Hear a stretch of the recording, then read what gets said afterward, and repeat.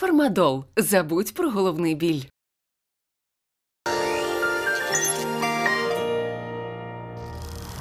На цих кадрах турецькі будинки складаються немов карткові. Потужні підземні поштовхи руйнують цілі квартали. Експерти попереджають, це загрожує і Україні. Проте наскільки сильно.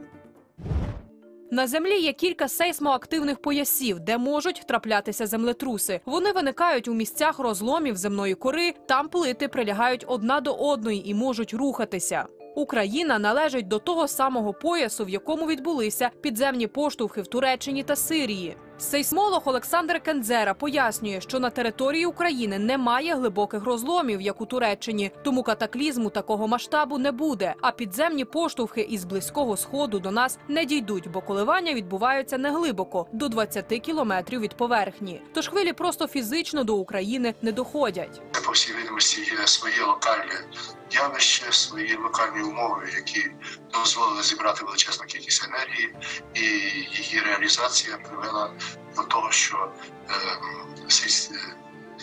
виявилися будинки недостатньо сейсмостійкими. Проте сейсмічна небезпека для України у майбутньому існує, бо наша територія піддається впливу землетрусів із зони Вранча, що у Карпатах. Саме там кілька поштовхів днями відчули мешканці Румунії та Молдови. Насправді вони можуть бути потужними в такому випадку, так як вогнище знаходиться глибоко.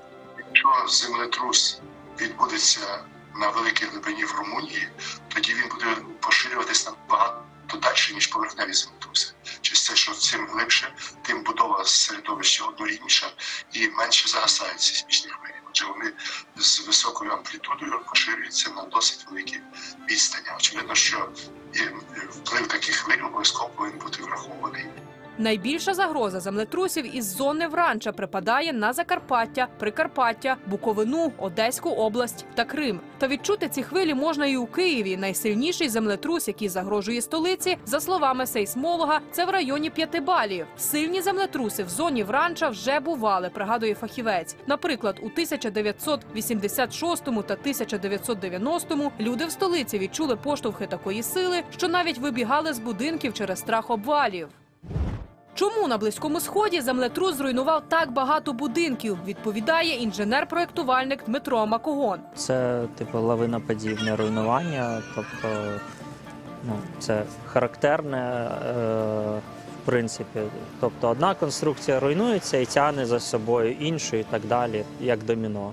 Землетрус на близькому сході був місцями такої сили, що не витримала жодна конструкція, ані нова, ані стара, з потужним фундаментом чи без нього. Як приклад, інженер наводить фортецю Газіантеп у Туреччині та цитадель Алепо в Сирії. Цим спорудам по півтори-дві тисячі років у своїй історії землетруси вони переживали, проте не цього разу. Руйнування можуть бути підземні, фундаменту, там е, якісь або ґрунт може просісти, може творитись тріщина, може бути навпаки така пружна основа, що передає ці коливання наверх будівлі, і там же відбувається руйнування, тобто вже колони ці хвилі не витримують, чи несучі конструкції, чи стіни там е, цегляні, і е, навпаки руйнування згори, тобто якісь верхні конструкції руйнуються, і знову таки лавиноподібне руйнування відбувається.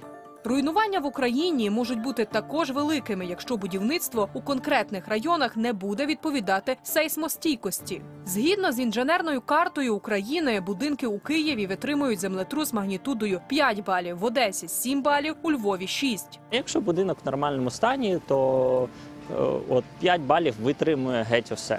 А 6 балів тут вже потрібні деякі там інженерні заходи, е, тобто там, наприклад, е, вже визначаються е, товщини плит перекриття мінімальні. Якщо у вас будинок в принципі не аварійний, який і так може падати. У нас такі теж є приклади, що ну вже старі будинки аварійні, то звичайно їм там може будь-що спричинити їх руйнування. В аварійному будинку жити в принципі не можна.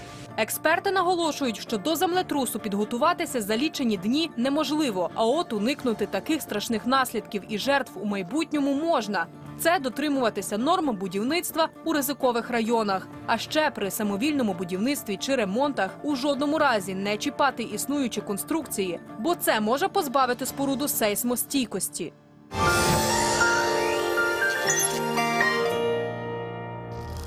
Говорить вся країна з Олексієм Сухановим з 27 лютого на 1+,1 Україна.